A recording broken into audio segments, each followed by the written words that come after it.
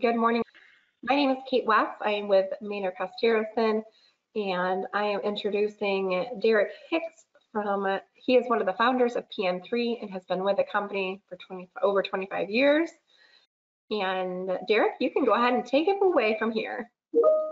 Wonderful. Thank you very much. And good morning, everyone. Thanks for joining us today. I'm looking forward to sharing our purchasing and AP automation offerings. There will be two components to today's webinar. I have a very short, and I promise it'll be short, very short slide deck where I'm just going to walk through high level the value proposition of purchasing and AP automation. And then I'll transition into a demonstration so that you can see PN3 in action and hopefully determine that it might potentially be of value to your organization. So without further delay, uh, let's go ahead and jump in. I do want to reiterate that if you have questions, please post them. Don't feel a need to hold them. We'd like to answer questions as I'm walking through because it may relate to something that I've just demonstrated. And if I'm still on that page, I can, can better answer your question. So let's go ahead and, and get today's session started. I'd like to first talk about you know, what are the objectives of our tools? What are we really looking to accomplish for organizations? Um, and what we hear quite often is, you know, our purchasing or AP process is extremely paper based, and we're looking to get rid of the paper. But but as we drill down into what they're really looking to accomplish, it tends to fall into three buckets. The first being improving process efficiencies. You know, as we know, purchasing and or AP touches virtually every department. So our objective obviously is improve to improve the process for the accounting and finance team, but also to improve the efficiency of the process for all other departments as well. Secondly, and having been in this for over 25 years, we've found that there are many different policies and procedures that organizations have implemented as relates to their purchasing policies or their AP policies. And so we give them the ability to configure PN3 to guarantee adherence to their policies and procedures. That obviously makes their management team happy, but their auditing team as well. And then lastly, with everything becoming digital, there's no longer I wonder where this transaction is. I wonder who has it. Did we file it correctly? You have visibility into the process to more effectively manage your workflows as well as manage your digital filing of all of your transactions. We have two offerings. We have an offering that combines purchasing and AP. We call that our procure to pay offering. And then we also offer our AP tool as a separate component for organizations that don't issue any purchase orders. On the purchasing side, staff can create requisitions, route those for approval. Once fully approved, you can create POs. On the AP side, we have a variety of different transaction types. Vendor invoices is one. PO and non-PO invoices, and we'll talk about both in today's demonstration. Expense reimbursements. Reconciling staff credit card spend. Maybe there's a need to request payment to a vendor when you don't have an invoice and you're not going to get one. The payment request form is used for that purpose. And then we also have a form that can be used to route contracts for financial and legal approval and then track expenses against the contract. Users can access PN3 from a browser. We also have apps for mobile phone users, iOS and Android. We can turn on functionality that would permit a user to approve or reject the transaction without having to log into PN3. The approve and reject buttons being enabled or uh, embedded in the body of an email message. We also offer, as an outsourced payment processing, the ability to process payments through our partner CPay Plus. Payments can be processed via a MasterCard virtual card, ACH, and check. We can integrate PN3 with many different financial systems. The ones you see here, this is where the majority of our projects are. The Microsoft suite of tools as well as Sage Intacct. We're going to transition into the demonstration now so that you can see PN3 in action. So I'm going to come out of my slide deck now, and I'm going to log into PN3 for payables as Pamela Hood. Pamela is an AP user. So you'll notice PN3 is browser based. I'm accessing PN3 from a browser. We offer two options for deployment, either an on-prem deployment where we install the software internally on your servers, or the PN3 cloud. To your users, it's it's virtually transparent which deployment method you're using because they're always accessing PN3 from a browser or an app on their mobile phone.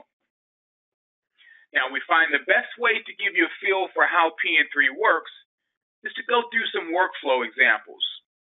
Therefore, you're going to see me log in as different users. Currently, I'm logged in as Pamela Hood. I'll log in as other users just to facilitate processing a transaction.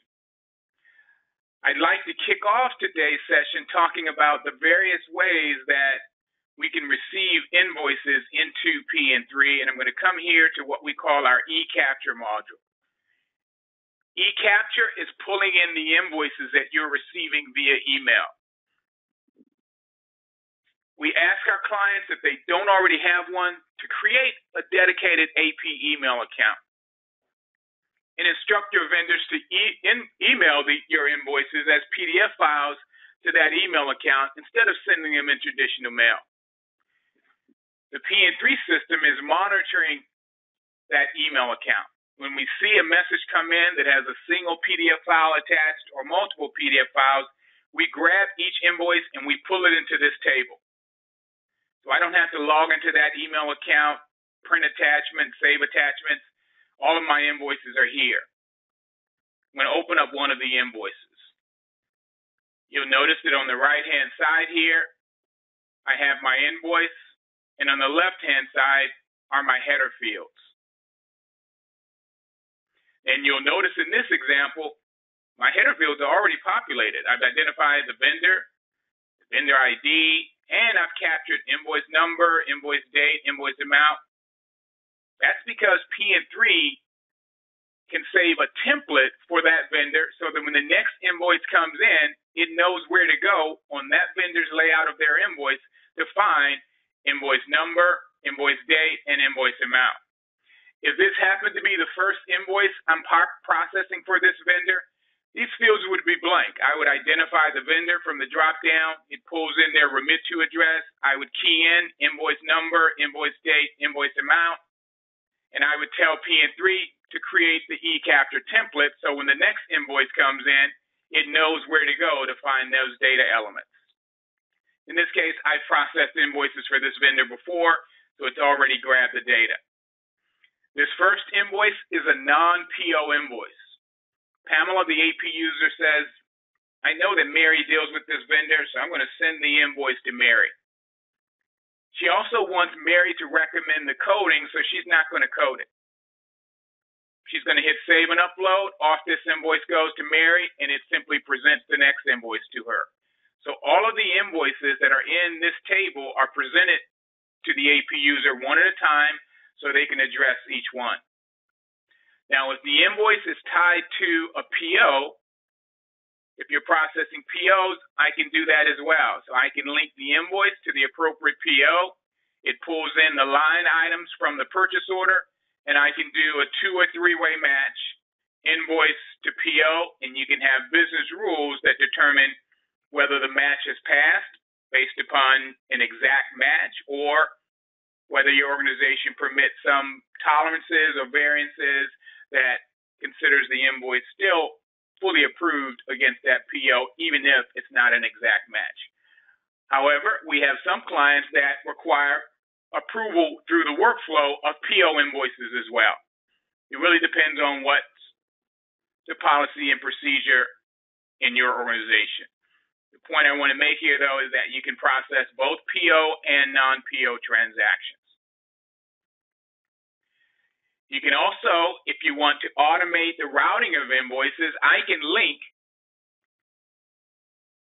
a manager to a particular vendor. In this case, automate, I've linked automate to Mary Jones. So instead of me having to select, I'm going to send this invoice to Mary, it populates her name, and I could even tell PN3, I don't even want to review those invoices that are coming in for automate because we know it's Mary, just automatically routes it to Mary which means that it won't even show in this queue. It routes to Mary automatically. So there are a lot of ways that you can set up, you know, really configurations to streamline your process.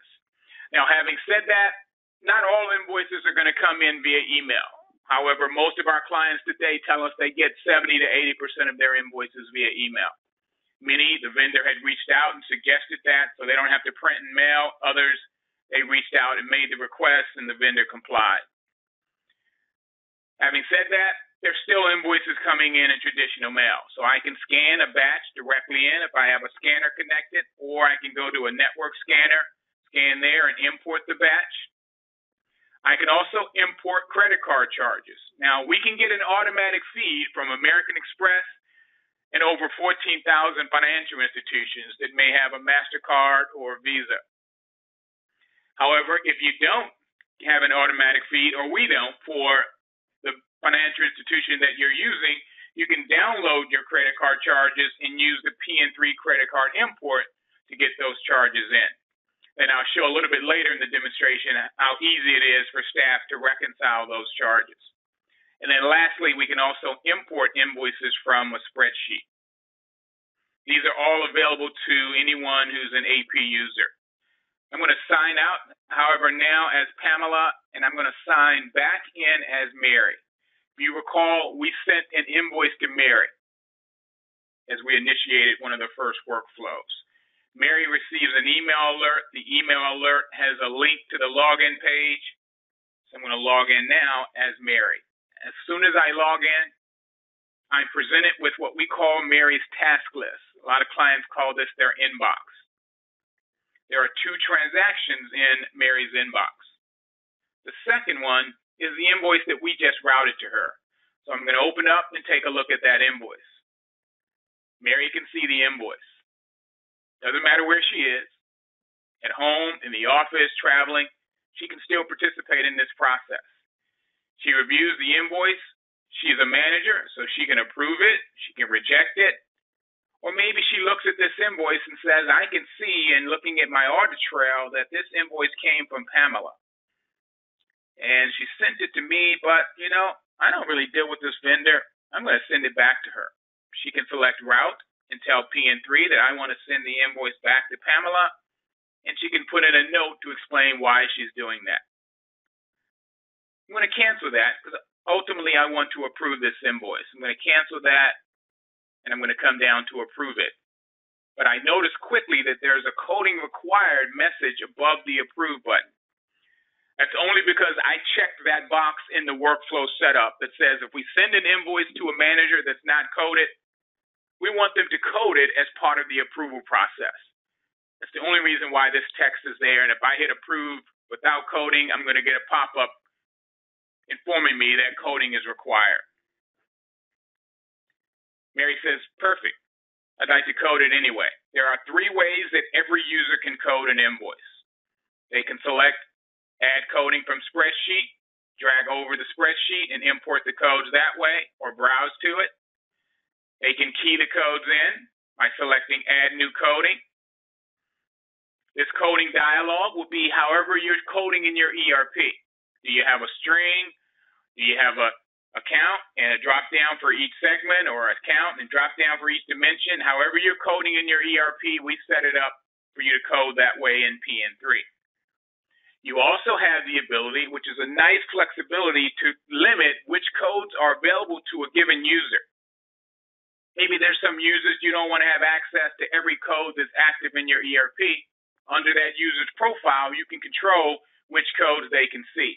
They'll always see the numeric value and the description.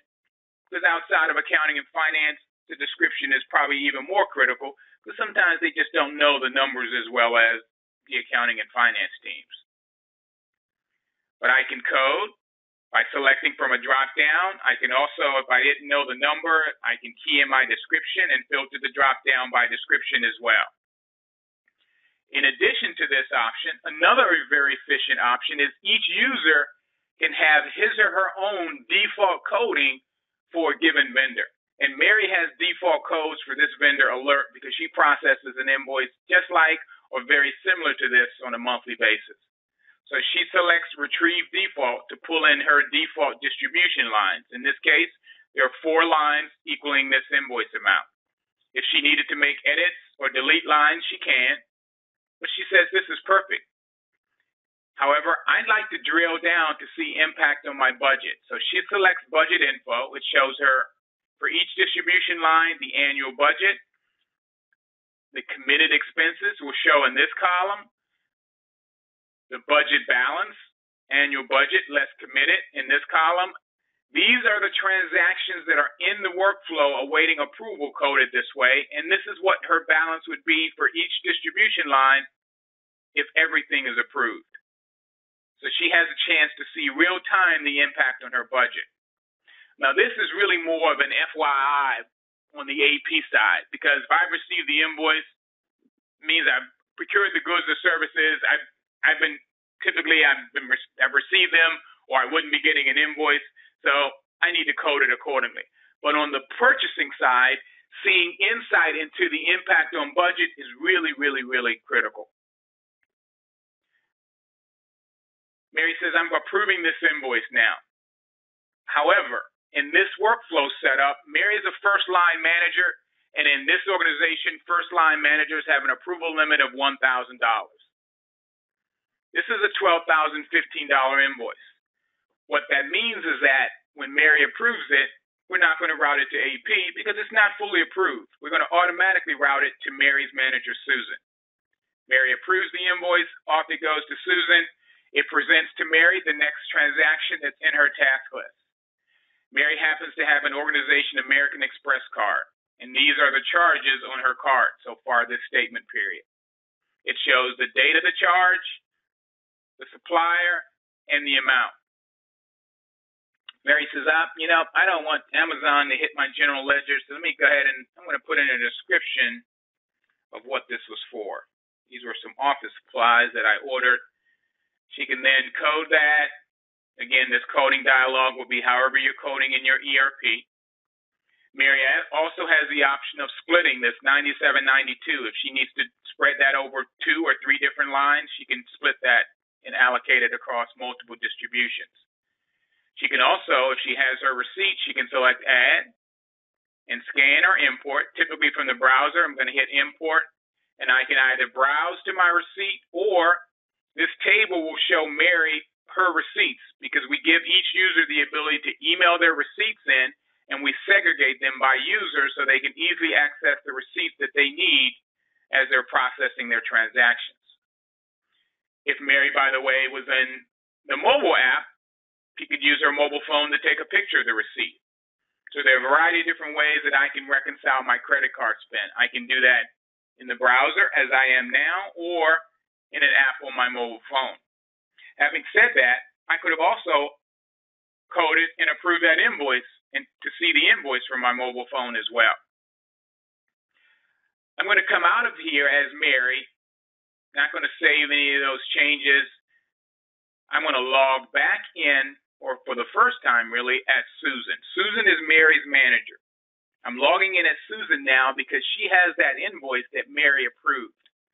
Again, it's in her task list because it exceeded Mary's approval limit. Susan can see that Mary approved it, date and time, and that Mary coded it.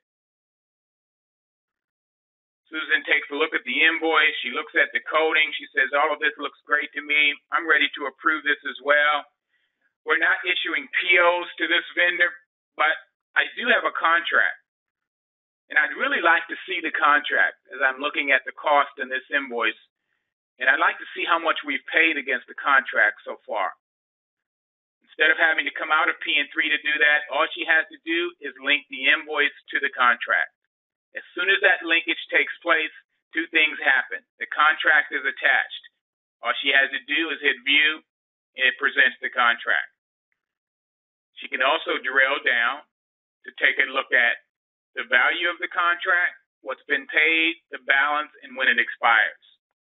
Again, we talked earlier about process efficiency. We're trying to put as much information at the fingertips of staff that will enable them to do the necessary due diligence, but do it in an efficient manner so as not to slow up the AP process. Susan says, perfect. I'm ready to approve this. Susan's approval limit is $25,000. It exceeds the $12,015 invoice amount, which means when she approves it, it doesn't have to escalate to her manager. It's fully approved. I'm going to sign out here as Susan, and I'm going to sign back in quickly as Pamela. Pamela is the AP user. And we'll see that the invoice has returned. It's now back in Pamela's task list.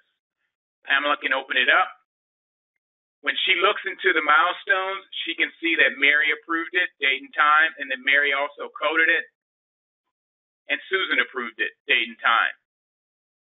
She can also review the coding. Now, she doesn't have to look at this and say, you know, this is a $12,015 invoice. I'm curious, I can't recall, do these managers have the approval limit sufficient to approve this? She doesn't have to guess at that. She looks at the status in PN3. If the status says it's manager approved, that's her assurance that it's fully approved. And because it's fully approved, she can now pass this to your ERP. If you're using an ERP that requires AP batches, we add it to an open batch. If you have a batch open for the period this invoice is going to, if not, we'll create a batch for you. If your ERP does not require AP batches, we'll create an AP bill, AP voucher in your ERP as soon as AP hits the approve button, either here in the header or down near the distribution. Immediately, the transaction is passed to your ERP. At that point, if you're not outsourcing the payment processing to us, you will process the payments, and that payment information will copy back to PN3 so that your staff can see the full status of the transaction. I'm going to sign out here as Pamela, and I'm going to sign back in as Mary. We've talked about vendor invoices. Let's talk for a second about the payment request form. Again, I'm only using this form when I don't have an invoice or I know no invoices coming in, but I need to get a payment to a vendor. Quite often it's a deposit, but we see other use cases as well. In this case, I'm saying I need to get a payment to this vendor, First Street Graphics. It's a deposit payment. This, by the way, is a client defined dropdown. You will set up your purchase, your payment request types. We see it used for refunds, credit memos, but in this case, it's a deposit to this vendor. And as a user, I'm letting AP know I need to get this payment by the end of the month, by July the 30th. And I'm going to fill this form out, putting in a description of what it's for, the amount of the deposit. I'm going to select some codes here just to quickly code it. Save that line. I can enter in additional lines. The sum of the lines becomes my transaction amount. Your ERP is going to require an invoice number, so PN3 generates one. I can attach backup, and I can route this payment request for approval. Once fully approved, it goes to AP to review it. When AP approves it, it sends it to your ERP the same way it would any other AP transaction. Again, I'm only using this when I don't have an invoice. In addition to the payment request form, there's also an expense reimbursement form. And by the way, I can also process payment requests from my mobile app. The expense report form, which reminded me of that, that's where our mobile app originated, probably about seven years ago. A lot of users said it'd be great if I could fill out my expense report from my mobile app, take pictures of my receipts. So that's where it started, but it's expanded to have almost all of the functionality in PN3.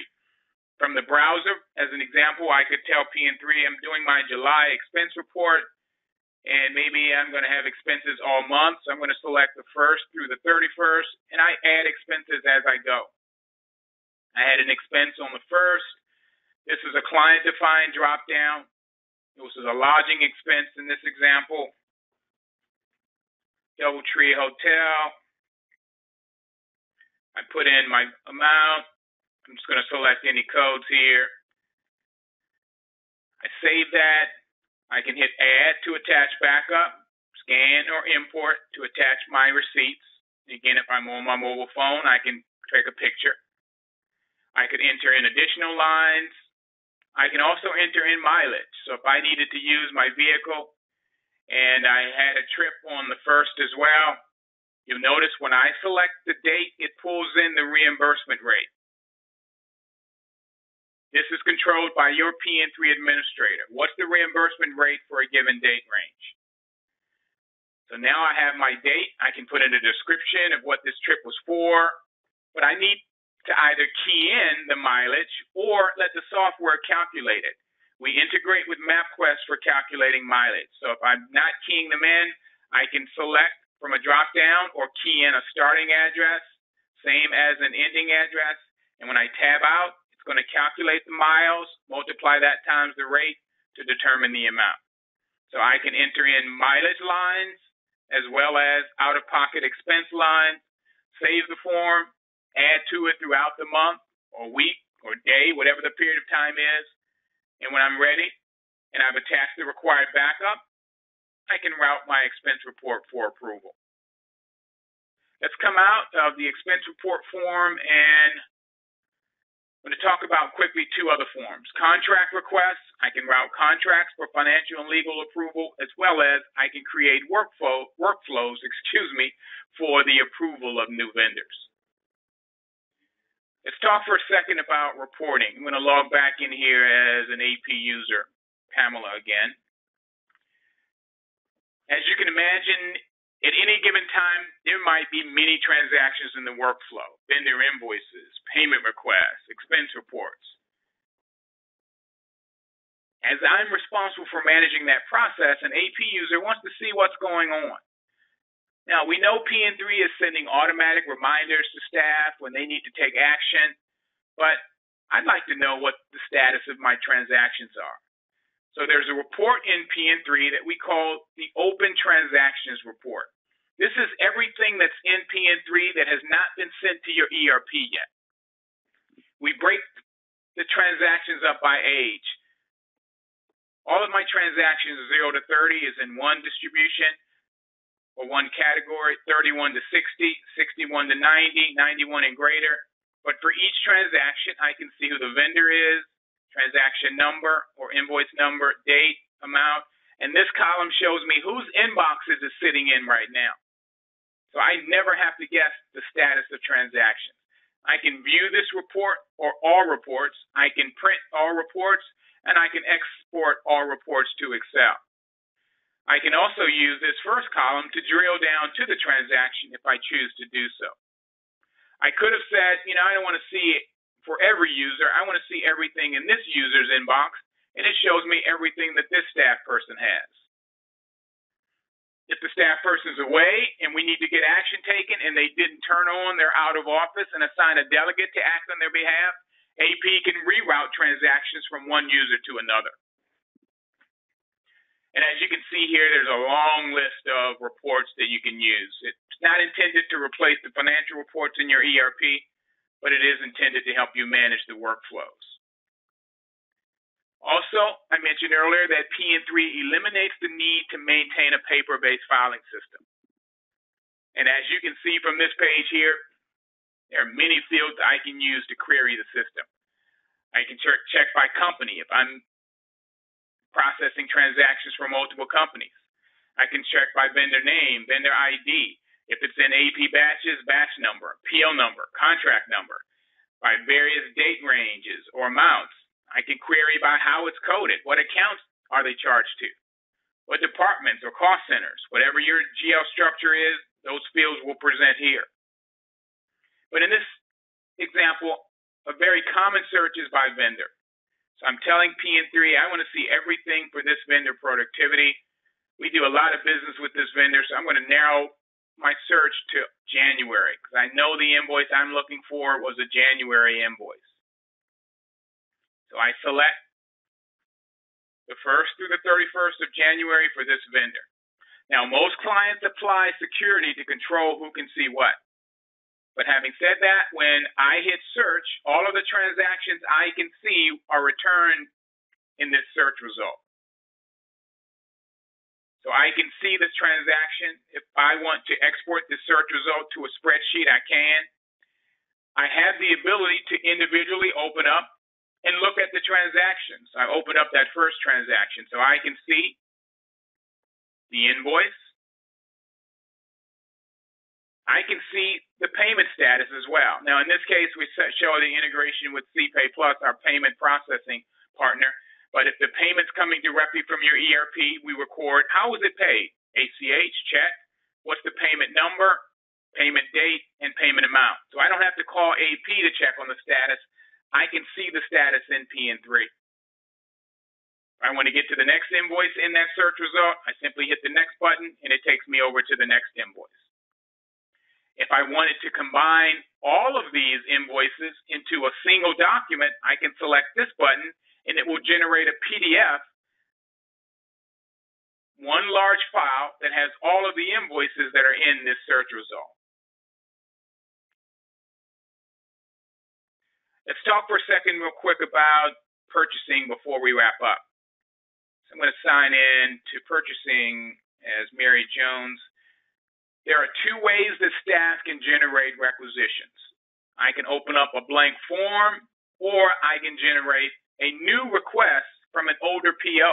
So if there's a vendor I do business with often, instead of starting with a blank form, I can open up one of their old POs, create a request out of that, and edit as necessary to start a workflow for my new request. Requisitions are routed for approval. Once fully approved, you can generate POs, and then you can receive against those POs and ultimately invoice against those purchase orders. So this concludes the demonstration portion. I'm going to get back to my slide deck real quick, just cover a few more items. This slide deck has some customer quotes in it. Um, the webinars are really intended to in, introduce you to what some of the PN3 functionality is. It's not intended to take a deep dive. If a client wants to learn more, we like to set up a one-on-one discussion with you to learn your requirements and see if PN3 might work. If it does, we can then present a proposal. So thank you very much, Derek, for your presentation. Um, it was, of course, smooth as always. If you guys have any questions, you can always email me. Again, it's Kate Watts, so K Watts at ManerSolutions.com. You can always email me and ask questions, and I can get you hooked up with Derek to go ahead and see any additional pieces that you need and kind of get everybody introduced. At this point, that's the end of the presentation. So have a great day, everyone. Thanks, Kate. Thanks to the Maner team.